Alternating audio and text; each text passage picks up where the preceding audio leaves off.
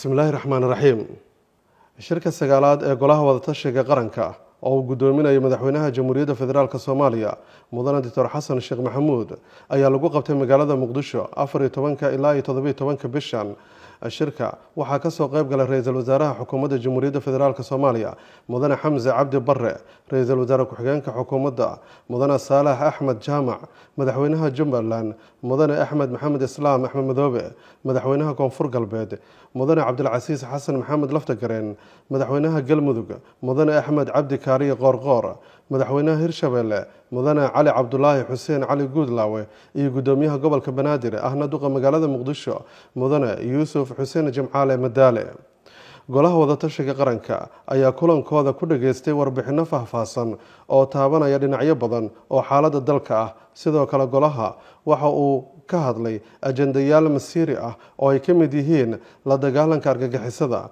qorshayaasha qaranka ee dhinaca amniga dhammaystirka dastuurka kumeel gaarka ah geedi socodka dimuqraadiyadeynta saameynta roobabka iyo qodobo kale oo muhiima.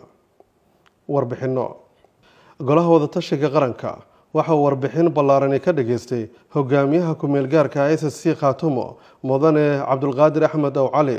Hogaamiyaha oo golaha uga warbixiyey xaaladaha amni bulsho ee s c khaatumo golaha wadatashiga qaranka. Waxa uu xafiiska amniga qaranka ka dhageystay warbixin qoto dheer oo ku saabsan guushii laga gaaray cunuqabateyntii muddada soddon iyo labada sano a saarneyd dalka.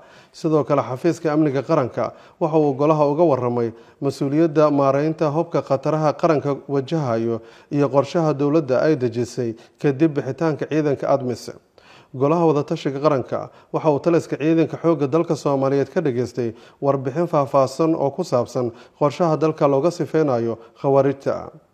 Golaha wadatashiga qaranka waxa uu sidoo kale warbixin ka dhageystay barnaamijka xasilinta deegaanada laga xoreeyey khawaarijta xukuumadda jamhuuriyadda federaalk ee soomaaliya. Bogaadin golaha wadatashiga qaranka waxa uu bogaadinayaa guulaha ciidamada qalabka sida oo kaashanaya shacabka soomaaliyeed ay ka gaareen ciribtirka kooxaha argagixisada ee khawaarijta. Golaha wadatashiga qaranka waxa uu xukuumadda federaalk soomaaliya ku bogaadiyey guulaha ay ka gaareen arrimaha deen cafinta dhaqaalaha ka mid noqoshada urur goboleedka bariga afrika iyo siyaasadda arrimaha dibadda. Golaha wadatashiga qaranka waxa uu bogaadiyey ansixinta baarlamaanka federaalk soomaaliya ee afarta cutub ee dastuurka kumeel gaarka ah. Golaha wadatashiga qaranka waxa uu sidoo kale dowladda ku bogaadiyey dadaalkay ugu jirto ka mid noqoshada golaha ammaanka ee jamciyadda quruumaha ka dhexeysa go'aamada shirka ka soo baxay. Golaha wadatashiga qaranka waxa uu si qoto dheer u falanqeeyey xaaladda amniga siyaasadda iyo xaaladda bani-aadanimo ee uu dalku marayo sidoo kale golaha wadatashiga qaranka isagoo tix raacaya heshiisyadii iyo warmurtiyeedyadii shirarkoodii hore waxa uu ku heshiiyey qodobada soo socda. Kow sugidda amniga iyo la dagaalanka argagixisada. Golaha wadatashiga qaranka waxa uu mar kale isku raacay in amniga uu dibdhexaad u yahay qorshayaasha dowlad dhiska iyo horumarinta dalka golahu waxa uu ku heshiiyey in si wada jir ah loogaga wada qeyb qaato la dagaalanka khawaarijta islamarkaana la laba jibaaro gulufka lagu soo afjarayo nabaddiidka golahu waxa uu taageeray dadaalada ay xukuumadda federaalka soomaaliya ku dardargelinayso qorshaha kala guurka ee ciidanka qalabka sida iyo tallaabooyinka ay ku kala wareegayaan mas'uuliyadda amniga dalka kadib bixitaanka ciidanka admis. Labo dhammaystirka dib u eegista dastuurka iyo xoojinta dimuqraadiyadeenta goluhu wuxuu isku raacay in la dardargeliyo dhaqangelinta heshiisyadii hore loo galay. Goluhu waxa uu ku dhiirigeliyey baarlamaanka federaalk soomaaliya inay dardargeliyaan ansixinta cutubyada harsan ee dastuurka iyadoo la tixgelinayo heshiisyadii golaha wadatashiga qaranka ee kaabayay dhammaystirka dastuurka. Golaha wadatashiga qaranka waxa uu xukuumadda federaalka iyo hay'adaha sharci dejinta ku dhiirigelinayaa dardargelinta sharciyada xeerarka iyo hay'adaha ka ratimaya ansixinta afarta cutub ee dastuurka si dalka ay uga taabo gasho doorasho hal qof iyo hal cod ah. Arrimaha bani-aadanimada golaha wadatashiga qaranka waxa uu qiimeeyey saameynta ay shacabka soomaaliyeed ku yeesheen roobabka xooggan ee ka da'ay qeybo ka mid a dalka golaha wadatashiga qaranka waxa uu hay'adaha gargaarka ee heerarka dowladda faraya dardargelinta gurmadka dadka ee waxyeelada soo gaartay wuxuuna shacabka soomaaliyeed ugu baaqayaa inay isu gurmadaan. Golaha wadatashiga qaranka waxauu hay'adaha caalamiga ah ugu baaqayaa iyo kuwa maxalliga ahba inay gacan siiyaan dadka ku tabaaloobay fatahaadaha xaddhaafka ah ee saameeyey qeybo ka mid a dalka sidoo kale golaha wadatashiga qaranka waxauu xukuumadda ay hay'adaha caalamiga ah ku dhiirigelinayaa inay si wadajirahay uga shaqeeyaan ka hortagga iyo maareynta saameynta isbeddelka cimilada. Waa mahadsantihiin awooddii khawaarijtu lahayd dagaalka ka hor maanta waa sidee? Jab weynaa gaaray. Qalbi jab weynaa haya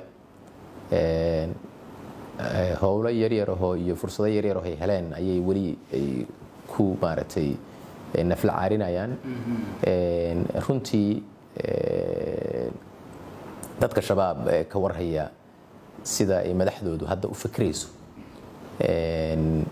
waa in ay dad hadda meel raadsiya yihiin oo weli isgeejinaya laakiin dowladda soomaaliya waxaa u taalla in awooddaas waktigii ay ama isdhiibi lahaayeen ama ay dal ka carari lahaayeen la gaarsiiyo. Marka hawshaas howl maaragtay ama cadowgaaga dee maalinkuu cararayo ama maalinkuu jabaayo ama maalinkuu qiranayo inuu jabay. Dee isagay ka go'daa. Laakiin annaga shaqada noo taalla waxay tahay inaan ku qasabno inuu go'aankaas qaato.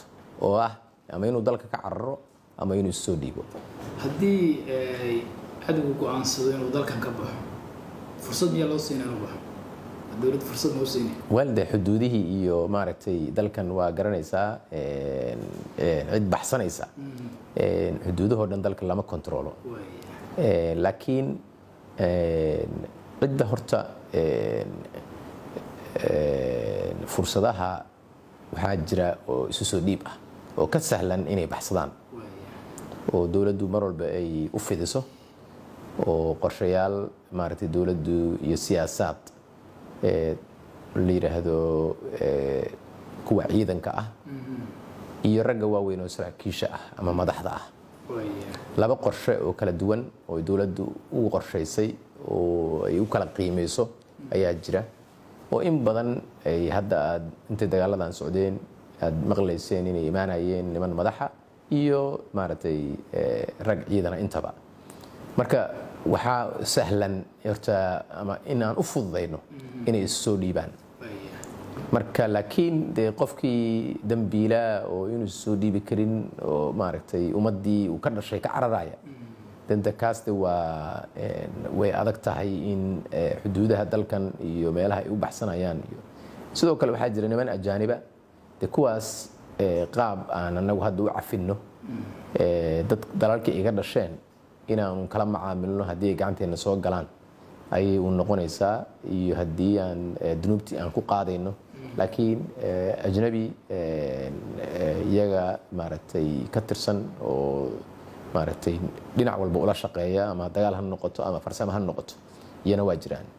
Xisaabtaas laftirkeeda waxay u baahan tahay howl caalami ah oo u baahan iskaashi dowladaha wax nagala dhexeeyaan waayahay isla qodobkaas haddii aan sii dhammaystirno maalmihii la soo dhaafay ama bilihii ugu dambeeyaba aad waxaa isu soo dhiibayay dhinaca weliba koonfur galbeed tiradii ugu badneed oo maleeshiyaad ah oo ka soo baxsanaysa khawaarijta. Muxuu qorshaha dowladda ee dhallinyarada ka soo baxaysa gacanta cadowga? Mid walba oo soo dhiiba uu sheeganayo inuu maaragtay qasab ama si uusan isagu ku qanacsanin uu halkaas ku joogay. Qorshahaas dowladda muxuu yahay? Iyadoo weliba wararka qaar ay mararka qaar jiraan iyadoo oo soo dhiibayaal dowladdu soo dhaweysay inay mar kale dhibaato geystaan. Dadku ay qaar aaminsan yihiin sidaas. Ta dib u goostaan. Horta siyaasad qaranaa jirta oo laba kun iyo shan iyo tobankii xilligii horeeto xasan sheekh maxamuud uu madaxweynaha ahaa laga qaatay arintan isu soo dhiibista. Oo shuruudo qofka haddii uu aqbalo dowladdu ay iska hubisana inuusan khatar ahayn qof isqarinayo uusan ahayn in amnestigaas la siiyo.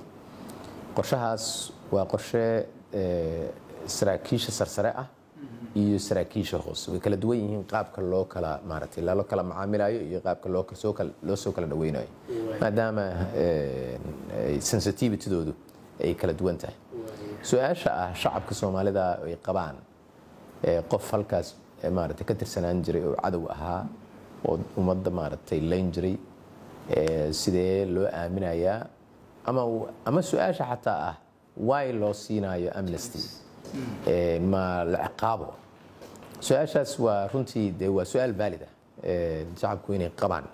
Laakiin markii xikmadda loo samaynayo aan u sharxo shacabka kow horta dagaalada dunida ka dhacoo dhan gedigiis dadka isdiriraya kuma dhammeeyaan xaaladooda inay isqoor jaraan ama isdhammeeyaan ama ay isciqaabaan. Dagaalka guushiisa ayaa horta asal ah.